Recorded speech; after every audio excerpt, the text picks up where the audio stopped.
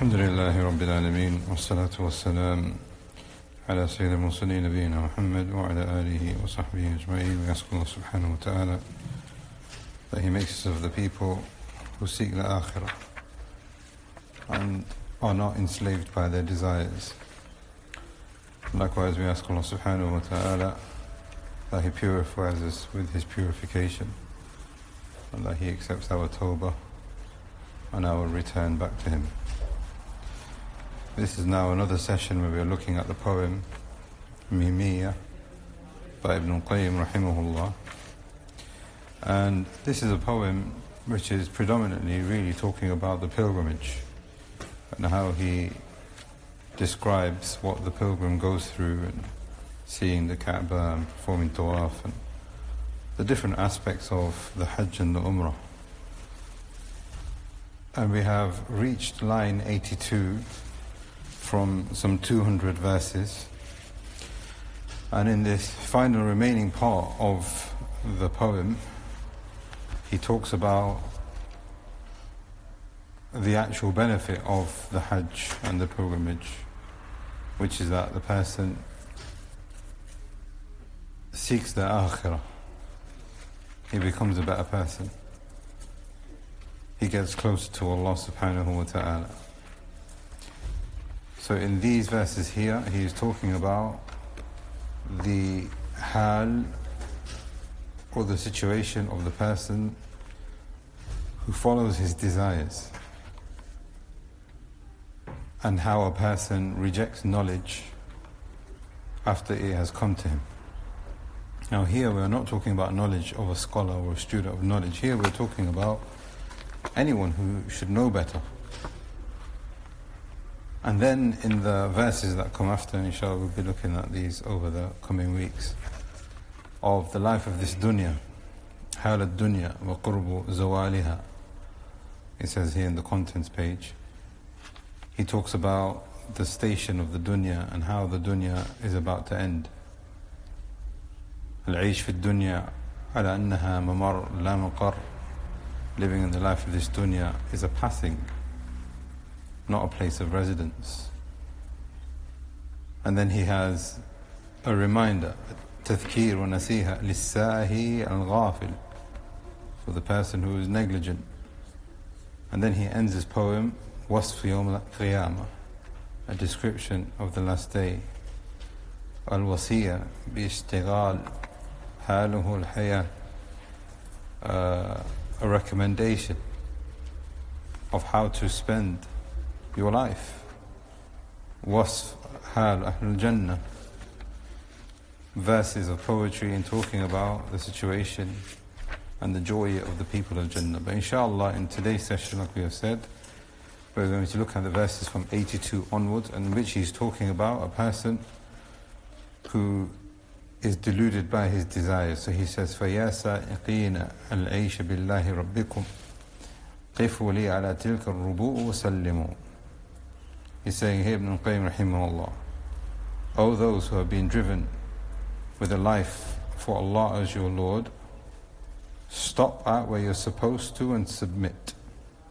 Meaning those people who are able to control their desires and understand the reality of the life of this dunya and that the purpose is the akhirah, these people are living their life as Allah is their Lord. So for them, the command here from Ibn Qayyim, stop at where you're supposed to stop and submit. وقولوا محب قاده الشوق نحوكم قضى نهبه فيكم تعيشوا وتسلموا and say to your driver meaning your desires and say to your driver is your love and your desire to please Allah is your direction, meaning control your desires. Figure out a way with the assistance of Allah to protect yourself.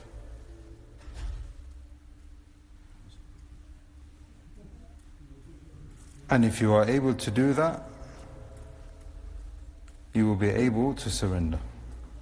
You will deliver your love and this is how you live and surrender. قضى نهبه فيكم تعيشوا وتسلموا. Then he says, Rahimahullah, قضى الله رب العرش فيما قضى به بأن الهوى يعمي القلوب ويبكم Allah, the judge, the Lord of the Arsh, and he judges with what he, uh, he judges by. He has judged that desires blinds the heart and will leave your tongue mute.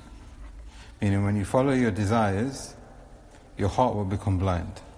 يعمي القلوب ويبكم and you will talk, your tongue will move, but it will not come out with anything which is logical.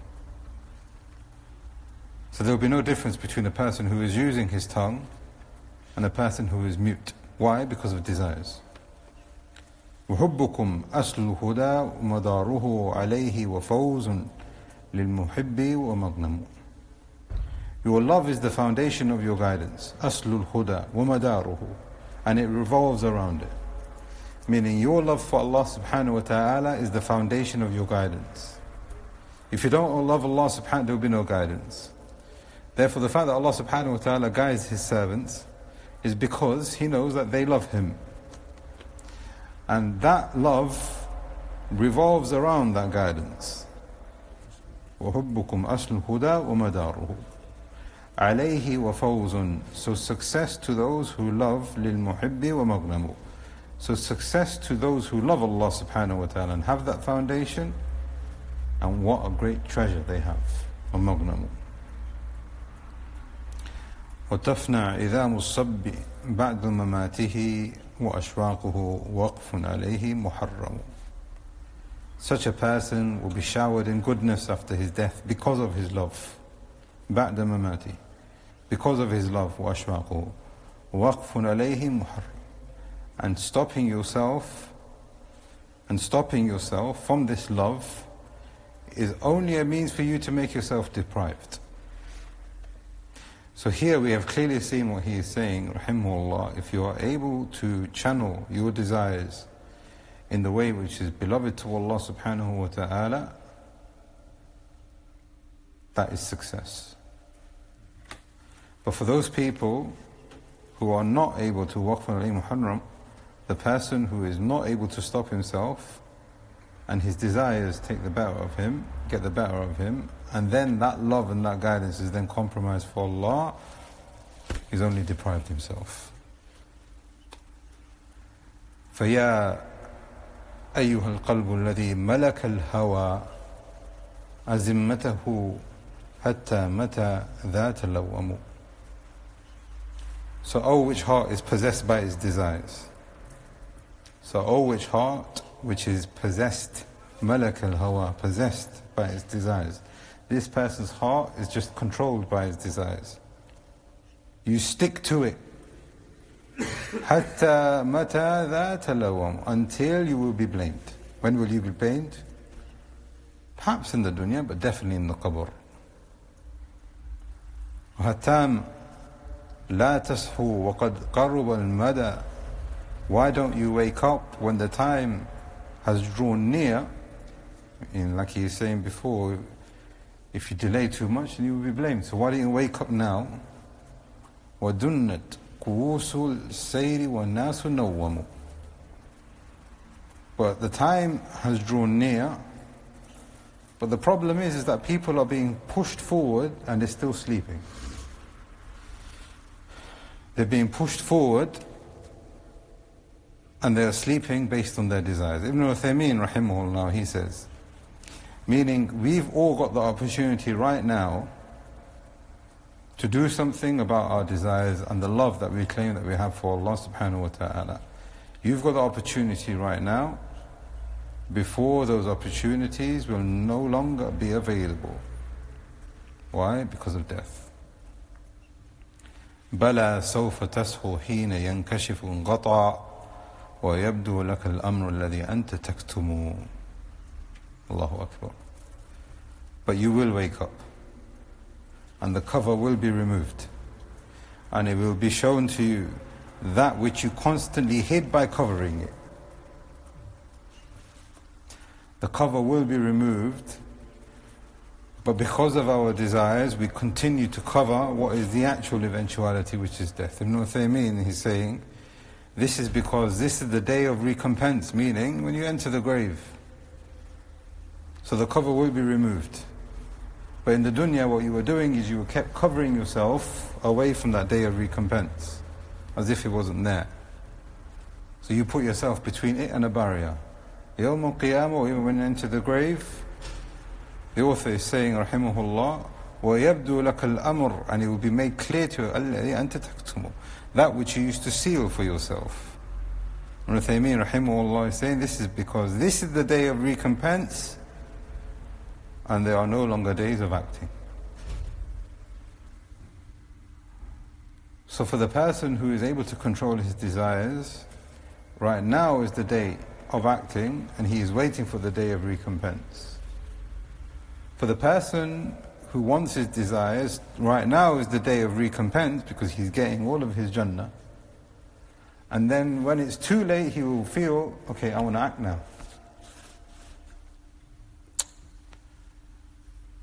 ويا موقد نار لغيرك ضوءها وهر لَضَعْهَا بَيْنَ جَنْبَيْكَ يُضْرَمُ Now here he is talking about the person who knows, the person of knowledge. But like I said to you guys before, it isn't about a scholar, it isn't about a student of knowledge, it's about anyone who knows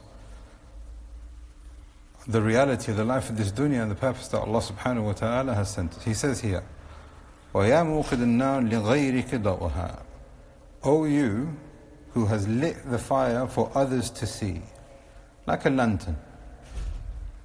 This lantern here is bringing light for everyone else to see. But at the same time, because of the fact that, yes, okay, he is benefiting others, but he forgets himself, he's following his desires himself, its heat is burning itself from within. And if you think about this parable, you will see that it is actually quite profound. You have a light. That light is benefiting everyone else But the proof is already being established upon himself. So what's happening with that light, with the fire within it? It is melting the wax or the oil from within. So he's only harming himself. أهذا جنى العلم الذي قد غرس أهذا جنى العلم الذي قد غرسته وهذا الذي قد كنت ترجوه يعتم Is this the knowledge that you have seeded? Is this what you wanted to eat from after you had seeded it? Meaning, is this what you wanted from it? Is this what you wanted from La ilaha illallah? Is this what you wanted from your good deeds? You put these seeds down so that other people will benefit, but you forget yourself. Is this the fruits that you wanted to eat? وهذا هو الحظ الذي قد رديته لنفسك في الدارين جاه ودرهم This is your share that you were pleased with for yourself with two intentions. He had two intentions, and he's going to talk about what they are. You wanted status and dirham. Jahum wa dirhamu. Ibn Uthaymeen rahimahullah, after he had this, he says, Allahu Akbar. This is the source for all actions for the people of the dunya, meaning there are no people who are connected to the life of this dunya. And the dunya has overtaken their desires, even for the people of knowledge, even for the people within Islam, except that there are two things which is making them slip up either status or wealth. Either status or wealth. These two are the keys for a person's desires. And if they are not careful, Uthaymeen is continuing, they'll have one of these two lowly intentions, meaning all he will get from the life of this dunya is those rewards of status or wealth from the dunya alone, that's it. But in actual fact, he says later on, not here, not in this footnote, but he says later on, that it could also be that a person, he wants from the life of this dunya status and knowledge, sorry, status and wealth, And he might not even get it. How many people are seeking the life of this dunya, but they are still poor, and they're seeking the life of this dunya, and they still don't have any status. So he's working for the dunya, forgetting the akhirah, but he doesn't get the dunya, he doesn't get the akhirah. So how blameworthy are they, Ibn Taymiyyah is saying here? He only does good deeds for himself, for his own desires. So what is correct? How can we control our desires? That we do things to please Allah subhanahu wa ta'ala. To seek the face of Allah subhanahu wa ta'ala. وهذا هو الربح الذي قد كسبته لعمرك لا ربح ولا أسل يسلم This is the profit that you wanted to gain for yourself. This is the money that you wanted to earn. but he says, by your life, and this is a way that the Arabs use, I mean, it's not swearing an oath by other than Allah, La amruk, la ribhun wa la aslum yuslamu. There is no profit, there is no money, there is no foundation that which you have submitted with. And he spoke the truth, rahimahullah. The people of desires, they don't benefit, and the people of desires have no foundation yet they submit to their desires. So what are they submitting to? Something which is hawa. There's just nothing there. بخلت بشيء لا يضرك بذله you were stingy with something that couldn't harm you by getting, meaning the life of this dunya. You were stingy with the life of this dunya, meaning a person, he wants the life of this dunya and he acquires the life of this dunya and he clings on to it, but by clinging on to that thing, can't harm you in the, in the slightest and can't benefit you in the slightest. وجدت بشيء مثله لا يقوم when you could have worked hard for something which has no comparison, which is what? جنة بخلت بذا هذ الخصيص دناءة وجدت بدار الخلد لو كنت تفهم You were stingy with something which is worthless, no real value, the life of this dunya. Stingy, holding on to something which is not even worth it. But you could have found it in an eternal home if only you understood. The thing that you wanted, that you were holding on for, you're not going to get it. No matter how much you want from the life of this, you're not going to get it here. But you could have found it. وجدت بدار الخلد لو كنت تفهم If only you understood in a land which is Darul Khuld, a place which is everlasting. وبئت نعيما لانقضاء له ولا نذير ببخس عن قليل سيؤدم You sold what has pleasures in the akhirah, na'iman, qida lahu, which will never end, which has no imitation, wala nadhir, with something which is paltry, as in it has very little value, bibakhsin and qalil, nothing. But then on top of that, sayu'damu. It will perish.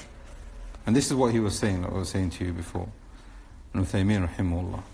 Even if you were to get the dunya, is still not worth it. But that is the case for those people who actually get the dunya.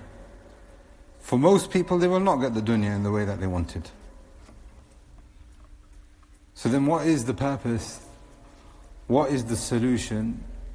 The purpose and the solution is to seek Allah subhanahu wa ta'ala and to rectify our intentions. And to seek knowledge, obviously this is now within the context of Ibn al-Qayyim rahimahullah talking about the people seeking ilm, but seeking knowledge and getting closer to Allah, doing good deeds for His sake, so that Allah subhanahu wa ta'ala will accept and be pleased with our intentions.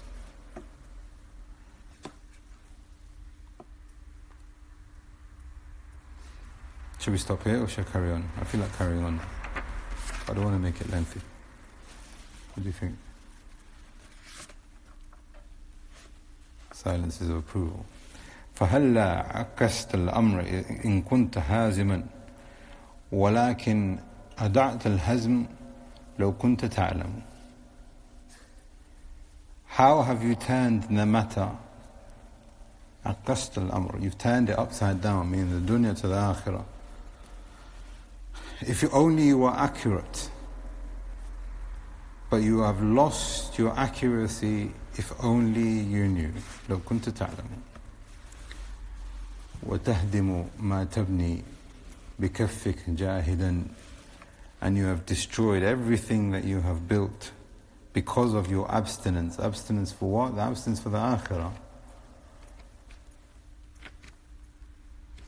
You were stingy when it comes to the akhirah, towards your own akhirah. And because of that, you have destroyed everything that you have built. فأنت مدى الأيام تبني وتهدم all of these days you were building and you were building and you were building and then it is demolished. It's 50 years, 60 years, 70 years. What happens at the end of it? Ibn Taymiyyah rahimahullah, he says, this is the example of a person who's doing good deeds. But his bad deeds, his desires, destroys it. He oppresses himself, he corrupts himself. Then with that there is the destruction. But if he did good deeds sincerely, and he controlled his desires, and he was just, then none of this would have happened. However, how many people do you find destroying themselves? وعند مراد الله تفنى كميت Look at this now.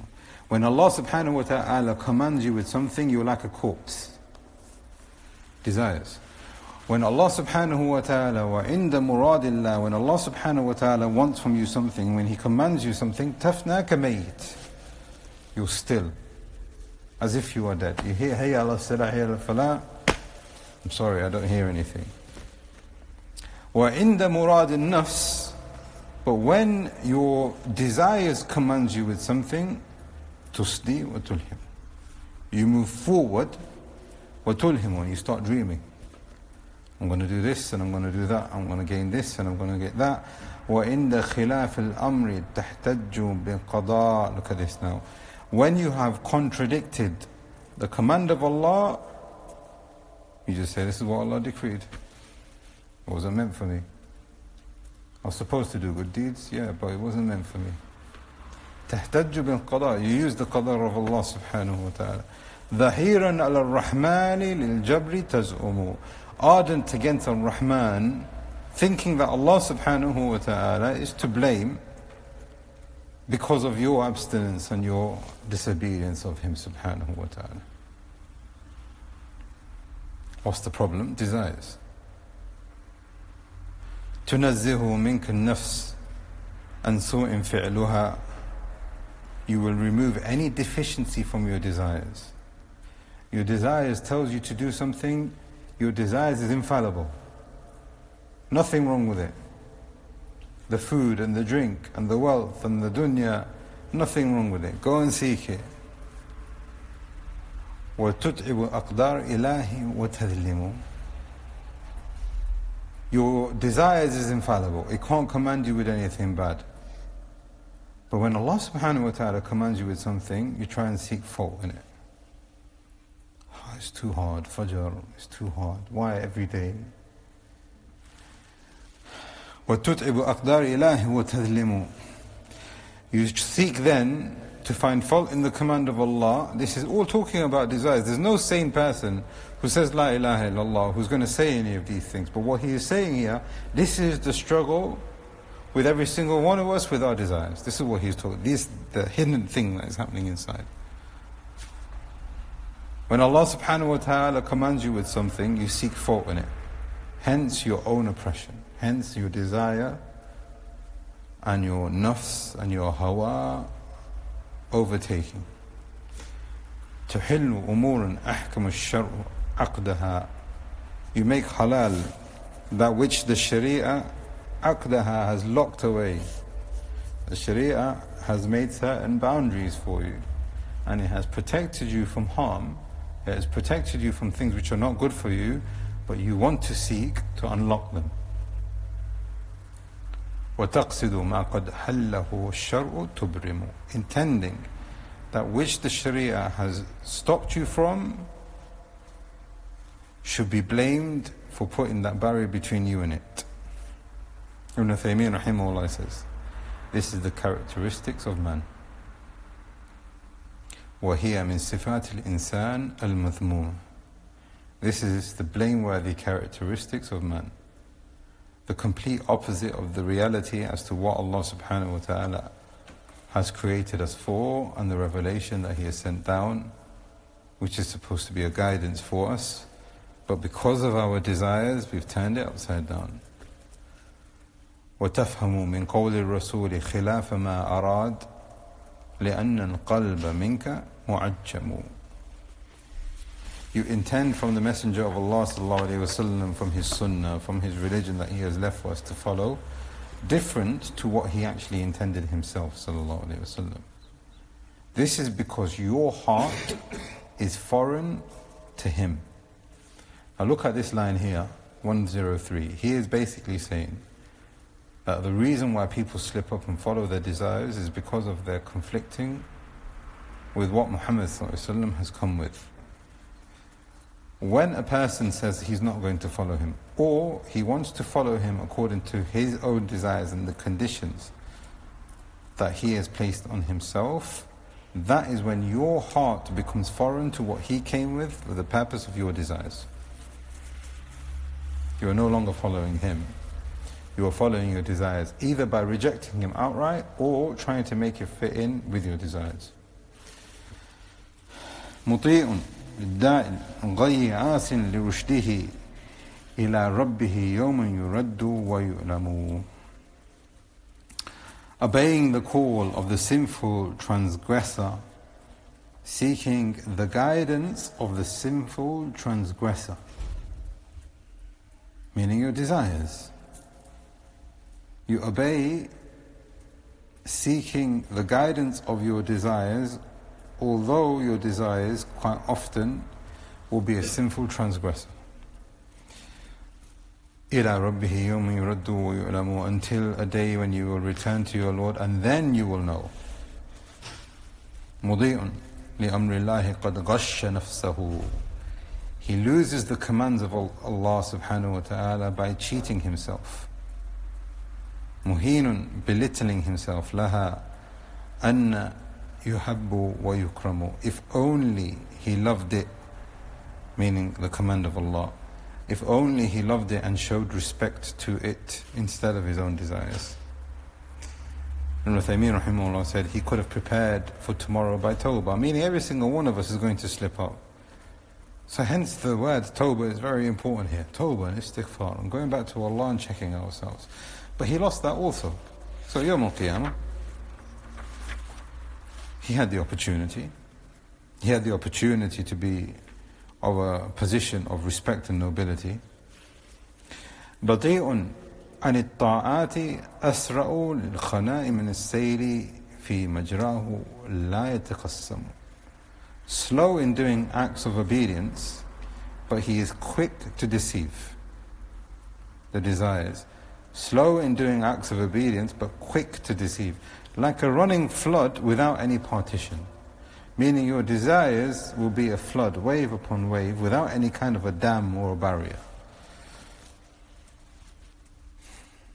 But when it comes to good deeds, that flowing is not there. There's a drought. وتزعم مع هذه بأنك وتزعم مع هذا بأنك عارف كذبت يقينا في الذي أنت تزعم With this you think yourself to have knowledge. With this you think yourself to be safe. With this you think, yeah, I know it, I know everything. I've studied Quran, I've studied, uh, I went to madrasa when I was small, uh, and I pray every now and then. Yeah, I've got some mistakes, but I'll be okay. You think yourself to be in a position of knowledge and ability when you have actually clearly lied in that which you thought yourself to have. Why? Because of your desires. And the good deeds don't match up. Ibn Uthaymeen rahimahullah is saying, if a person knew himself, if a person knew himself and he knew he was misguided, and he knew that guidance isn't easily obtained, he'd do something about it. Allahu Akbar. He is saying every single one of us has some kind of misguidance. I don't think there's anybody in the world who can claim even that he's not got anything wrong with him. And in order for him to bring rectification, he also has to admit now, like, okay, I've got some serious problems. And in order for me to get the guidance of Allah, it's not going to be easy. I have to work hard. So Ibn Taymiyyah rahimahullah is saying here, yes, he'd do something about it. But what's the problem here? The problem is our desires. He remains misguided. He doesn't think there is a problem, and this is a calamity. The words of Ibn Taymiyyah rahimahullah. Why? Because of desires. Line 109. إذا كان هذا نصح عبد لنفسه If this is how the servant advises himself, no, before that, 108. وَمَا أَنْتَ إِلَّا جَاهِلٌ ثُمَّ ظَالِمٌ Look at this now. You are nothing but an ignorant person, then an oppressor. إِنَّهُ كَانَ ذَلُومًا جَهُولًا Allah subhanahu wa ta'ala gives this characteristic at the end of Surah Ahzab to all of insan. Jahil, zalim. وما أنت إلا جاهل ثم ظالم وإنك بين الجاهلين مقدم and you are in between these two ignorances meaning ignorance and dhulm moving forward as a human being this is how you are moving forward this is how you are living your life because of desires Ibn Taymiyyah is saying here the jahil he doesn't know that he is misguided why is the jahil jahil jahil is a person who doesn't have any knowledge. Why? Because of the fact that desires has overcome him. So he ends up being misguided because of the lack of knowledge. So he moves forward, as he is saying here, because of the lack of knowledge, happily living, or thinks he is happily living in his desires. Thumma then he says, then you become an oppressor. How? Because the oppressor knows he is not guided. The oppressor knows that he is following his desires instead, but he is oppressing himself because he's not doing anything about it.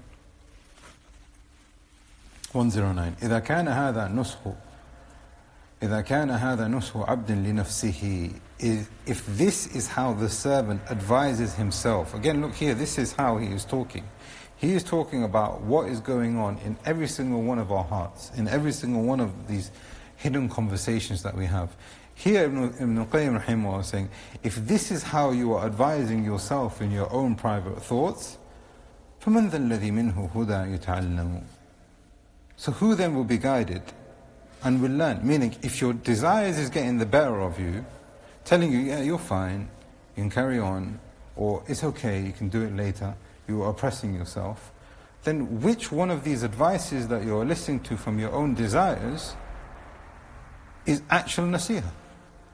None of it. Why? Because of desires. فَمَنْ ذَا الَّذِي مِنْهُ الْهُدَى يَتَعَلَّمُ So then which one of this is hidayah? Which one of this is going to be of education for our desires, for ourselves, for our souls? وفي مثل هذا الحال قد قال من مدى This is the situation. Every single one of us have read the Quran, وَلِلَّهِ الْحَمْدِ Ibn Qayyim is saying here, this is the situation that Allah subhanahu wa ta'ala has described nation after nation that came before us. People before us have trodden on Allah's earth. ومثل هذا الحال قد قال من مضى وأحسن فيما قاله المتكلم and the best thing that a person has ever said, and this is going to summarize everything that we have done today, فإن كنت لا تدري فتلك مصيبة وإن كنت تدري فالمصيبة أعظم If you don't know, then this is a calamity.